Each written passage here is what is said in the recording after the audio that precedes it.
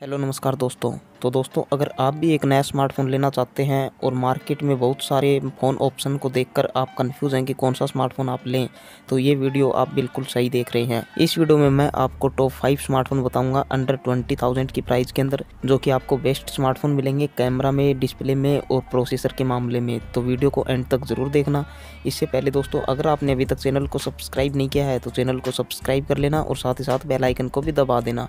तो दोस्तों, इस वीडियो में मैंने जो भी स्मार्टफ़ोन लिए हैं, वो हमें बहुत ही ज़्यादा अच्छे देखने को मिलते हैं और सभी स्मार्टफ़ोन के अंदर हमें फुल एचडी डिस्प्ले देखने को मिलती है और यहाँ पर हमें स्नैपड्रैगन 860 तक का प्रोसेसर देखने को मिलता है। तो चलिए वीडियो शुरू करते हैं। अभी दोस्तों, अगर पाँचवें नंबर की बात करें तो पाँचवें नंबर पर आता हमारे पास रियलमी की तरफ़ से रियलमी एट प्रो इस फ़ोन के अंदर दोस्तों में 6.4 इंच की सुपर एमोलेड डिस्प्ले मिलती है, जो कि 60 हर्ज रिफ्रेश रेट के साथ देखने को मिलती है, और इस पर हमें कॉर्निंग और इला ग्लास 5 का प्रोटेक्शन देखने को मिलता है। तो दोस्तों डिस्प्ले यहाँ पर हमें काफ़ी अच्छी मिलती है। यहाँ पर हमें सुपर एमोलेड डिस्प्ले मिलती है, जिससे कि आपको कलर्स वगैरह ज़्यादा अच्छे देखने को मिलेंगे।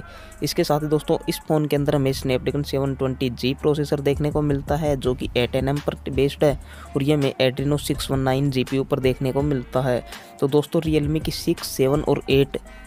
तीनों स्मार्टफोनों के अंदर हमें स्नैपड्रैगन 720G प्रोसेसर मिलता है। ये प्रोसेसर दोस्तों में इस प्राइस के हिसाब से ठीक ठाक सा देखने को मिलता है। इसके साथ ही दोस्तों, इस फ़ोन के अंदर हमें Realme U I two point O देखने को मिलता है, जो कि एंड्रॉयड 11 पर रन करता है। और दोस्तों, अगर बात करें इसके कैमरे की तो इसके अंदर हमें one hundred and eight mega का क्वाड कैमरा मिलता है, जो कि सैमसंग के एच एम टू सेंसर के साथ देखने को मिलता है। और दोस्तों, इसके अंदर हमें एक एट मेगा का अल्ट्रा वाइड और दो मेगा का मैक्रो और दो मेगा का डेप्थ सेंसर देखने को मिलता है। इसके साथ ही दोस्तों, इसके अंदर में एक 16 मेगापिक्सल का सेल्फी कैमरा देखने को मिलता है।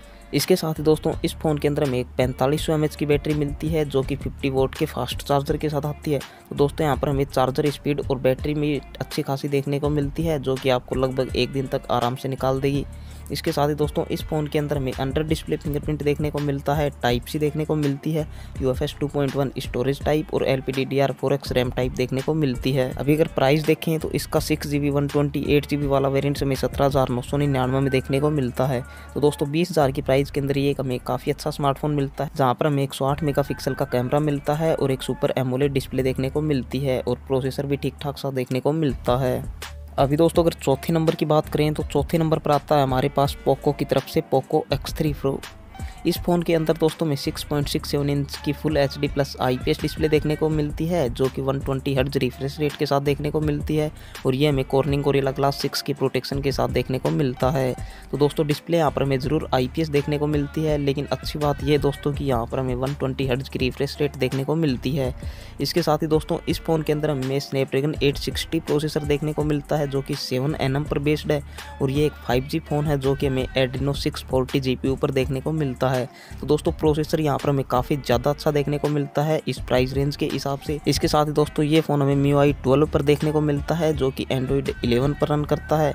और अगर कैमरे की बात करें तो इसके अंदर हमें 48 मेगापिक्सल का क्वाड कैमरा मिलता है, जहाँ पर हमें 48 मेगापिक्सल का प्राइमरी कैमरा मिलता है, जो कि सोनी के सेंसर आई एम के साथ देखने को मिलता है। और इसमें हमें एक एट मेगापिक्सल का अल्ट्रा वाइड दो मेगापिक्सल का मैक्रो और दो मेगापिक्सल का डेप्थ सेंसर मिलता है। इसके साथ ही दोस्तों, इस फ़ोन के अंदर हमें एक ट्वेंटी मेगापिक्सल का सेल्फी कैमरा देखने को मिलता है। अगर बैटरी देखें तो इसके अंदर हमें पाँच हज़ार एक सौ साठ एम एच की बैटरी देखने को मिलती है, जो कि थर्टी थ्री वोट के फास्ट चार्जर के साथ आती है। दोस्तों, यहाँ पर हमें बैटरी भी काफ़ी ज़्यादा अच्छी देखने को मिलती है। इसके साथ ही दोस्तों, इस फ़ोन के अंदर हमें साइड माउंटेड फिंगरप्रिंट देखने को मिलता है। U F S three point one storage type मिलती है और L P D D R four X RAM type देखने को मिलती है जो कि काफ़ी अच्छी बात है। इसके साथ ही इसके अंदर हमें टाइप सी देखने को मिलता है एनएफसी का सपोर्ट मिलता है और आईआर ब्लास्टर देखने को मिलता है। और यहाँ पर हमें आई पी रेटिंग देखने को मिलती है और स्टीरियो स्पीकर का भी ऑप्शन देखने को मिलता है। और दोस्तों, अगर प्राइस देखें तो इसका six G B one twenty eight G B वाला वेरियंट हमें अठारह हज़ार नौ सौ निन्यानवे में देखने को मिलता है। अभी अगर तीसरे नंबर की बात करें तो तीसरे नंबर पर आता हमारे पास साउमी की तरफ़ से मी टेन आई इस फ़ोन के अंदर दोस्तों में 6.67 इंच की full H D plus I P S display मिलती है, जो कि 120 ट्वेंटी हर्ज रिफ्रेश रेट और ये हमें कॉर्निंग गोरिल्ला ग्लास 5 की प्रोटेक्शन के साथ देखने को मिलती है। इसके साथ ही दोस्तों, इस फ़ोन के अंदर हमें ग्लास बैक देखने को मिलता है तो दिखने में ये स्मार्टफ़ोन हमें काफ़ी ज़्यादा प्रीमियम सा देखने को मिलता है। और दोस्तों, अगर प्रोसेसर की बात करें तो इसके अंदर हमें Snapdragon seven fifty G processor मिलता है, जो कि एक फाइव जी प्रोसेसर है, और ये हमें Adreno six one nine G पर देखने को मिलता है। और अगर अंततु स्कोर देखें तो इसका अंततु स्कोर हमें लगभग तीन लाख तीस हज़ार से ऊपर देखने को मिलता है। इसके साथ दोस्तों ये स्मार्टफ़ोन हमें मी वाई ट्वेल्व पर देखने को मिलता है, जो कि एंड्रॉयड टेन पर रन करता है। और अगर कैमरा की बात करें तो इसके अंदर हमें 108 मेगापिक्सल का क्वाड कैमरा मिलता है, जहाँ पर हमें 108 मेगापिक्सल का प्राइमरी कैमरा मिलता है, जो कि सैमसंग के एच सेंसर के साथ आता है। इसके साथ ही इसके अंदर हमें एक एट मेगा का अल्ट्रा वाइड दो मेगा का डेप्थ और दो मेगा का मैक्रो कैमरा देखने को मिलता है। इसके साथ ही दोस्तों, इस फ़ोन के अंदर हमें 16 मेगापिक्सल का एक सेल्फी कैमरा देखने को मिलता है। अभी अगर बैटरी की बात करें तो इसके अंदर हमें अड़तालीस सौ की बैटरी मिलती है, जो कि 33 वोट के फास्ट चार्जर के साथ आती है। इसके साथ ही दोस्तों, इस फ़ोन के अंदर हमें साइड माउंटेड फिंगरप्रिंट देखने को मिलता है टाइप सी मिलती है स्टीरियो स्पीकर का ऑप्शन मिलता है आई पी रेटिंग देखने को मिलती है, और इसमें हमें यू एफ़ का सपोर्ट देखने को मिलता है, जो कि एल पी रैम टाइप के साथ देखने को मिलता है। और अगर प्राइस की बात करें तो इसका six G B one twenty eight G B वाला वेरियंट हमें उन्नीस हज़ार नौ सौ निन्यानवे में देखने को मिलता है। तो दोस्तों, बीस हज़ार की प्राइस के अंदर ये भी हमें काफ़ी अच्छा स्मार्टफ़ोन देखने को मिलता है। अभी अगर दूसरे नंबर की बात करें तो दूसरे नंबर पर आता हमारे पास Redmi की तरफ़ से Redmi Note 10 Pro Max इस फ़ोन के अंदर दोस्तों में 6.67 इंच की सुपर एमोलेड डिस्प्ले मिलती है, जो कि 120 ट्वेंटी हर्ज रिफ्रेश रेट के साथ आती है, और ये हमें कॉर्निंग और ग्लास 5 की प्रोटेक्शन के साथ देखने को मिलता है। तो दोस्तों डिस्प्ले यहाँ पर हमें काफ़ी अच्छी देखने को मिलती है, और यहाँ पर हमें एक हाइयर रिफ्रेश रेट देखने को मिलती है।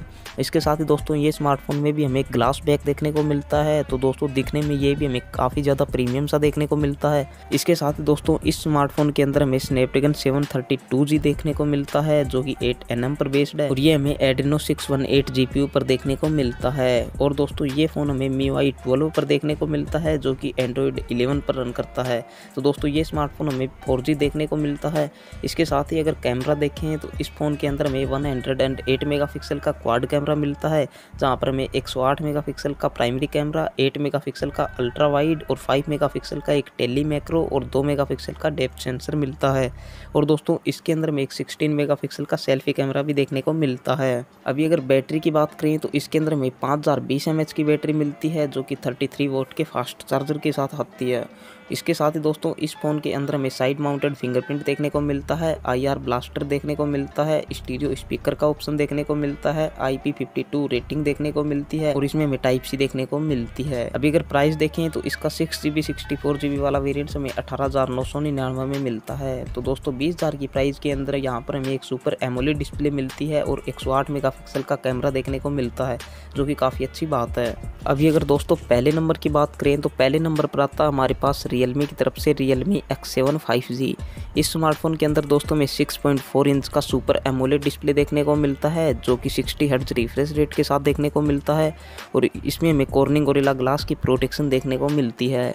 इसके साथ दोस्तों, इसके अंदर हमें एक 64 मेगापिक्सल का ट्रिपल कैमरा देखने को मिलता है, जहाँ पर हमें 64 मेगापिक्सल का प्राइमरी कैमरा 8 मेगापिक्सल का अल्ट्रा वाइड और 2 मेगापिक्सल का एक मैक्रो कैमरा देखने को मिलता है, और इसमें हमें एक 16 मेगापिक्सल का फ्रंट कैमरा देखने को मिलता है। इसके साथ ही दोस्तों, इस स्मार्टफ़ोन के अंदर हमें Dimensity eight hundred U processor मिलता है, जो कि सेवन एन पर बेस्ड है, और ये हमें Mali G fifty seven G P पर देखने को मिलता है।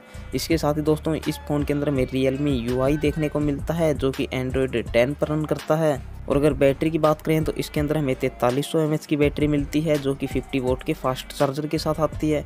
इसके साथ ही दोस्तों, इस स्मार्टफ़ोन के अंदर हमें अंडर डिस्प्ले फिंगरप्रिंट देखने को मिलता है U F storage type L P RAM type और टाइप सी देखने को मिलता है। और अगर प्राइस की बात करें तो इसका सिक्स जी बी वाला वेरियंट हमें उन्नीस में देखने को मिलता है। तो दोस्तों, ये लिस्ट है, वो मैंने प्रोसेसर को ज़्यादा प्रायोरिटी देते हुए बनाई है। और अगर आपके हिसाब से कोई और ऐसा स्मार्टफ़ोन है जो कि बीस हज़ार की प्राइस के हिसाब से काफ़ी ज़्यादा बेस्ट है और वो मैंने इस लिस्ट में नहीं लिया है तो वो आप मुझे कमेंट बॉक्स में कमेंट करके ज़रूर बता सकते हैं। इसके साथ दोस्तों, मैंने यहाँ पर जितने भी स्मार्टफ़ोन पिक किए थे, उनके अंदर मैंने यहाँ पर टॉप फाइव स्मार्टफ़ोन अलग से छाटे हुए हैं। जो कि मैंने आपको यहाँ पर बताए हैं, जो कि आप बीस हज़ार की प्राइस के अंदर खरीद सकते हैं। तो दोस्तों, अगर आपको ये वीडियो अच्छी लगी हो तो इस वीडियो को एक लाइक कर देना और चैनल को भी सब्सक्राइब कर लेना। और मैं मिलता हूँ आपको एक नई वीडियो के साथ। तब तक के लिए जय हिंद, वंदे मातरम।